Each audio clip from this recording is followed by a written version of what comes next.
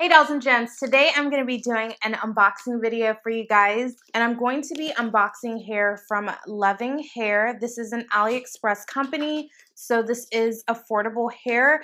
I think that their packaging is like so cute. You guys cannot tell me that this packaging is not freaking cute.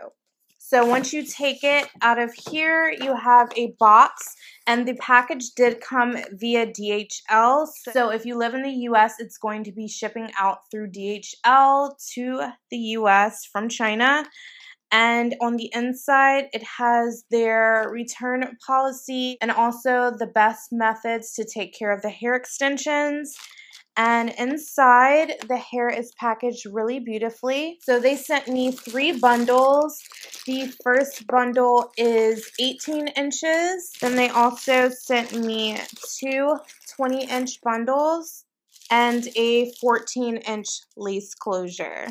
So I believe this is their Brazilian straight hair, but I'll definitely let you know in the description box down below and also in the title. So this hair does come with a little net around it. Now the closure doesn't have any reinforced edges around it, which I normally like with my lace closures because it's more reinforcement for the closure, but the texture of this feels really great and it doesn't have too high of a density, but it's not thin either and there are baby hairs in the front of the closure as well. The knots are not bleached on this closure, but you can definitely do that for a more natural look.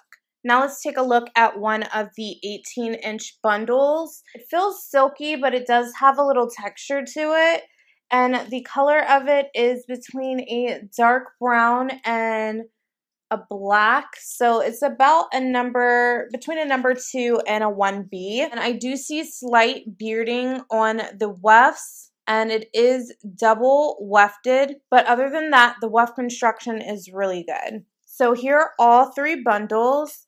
The hair does feel really great. I'm not getting any shedding. I am getting a little bit of resistance as I'm running my fingers through the hair though but no real tangling and no shedding with this hair. This is going to be a really, really pretty install. And the texture of the closure matches really great with the hair extensions as well, and the color is pretty dead on. I think I'm going to chop these hair extensions into a bob. I want to do something different for the summer, so I will definitely come back to you guys once I've installed the hair extensions, and I'll give you my full results, but I did want to share how the hair looked fully unboxed so if you enjoyed this video, definitely don't forget to give it a big thumbs up. And if you would like to check out Luvin Hair on AliExpress, I will have their link and information down below for you guys.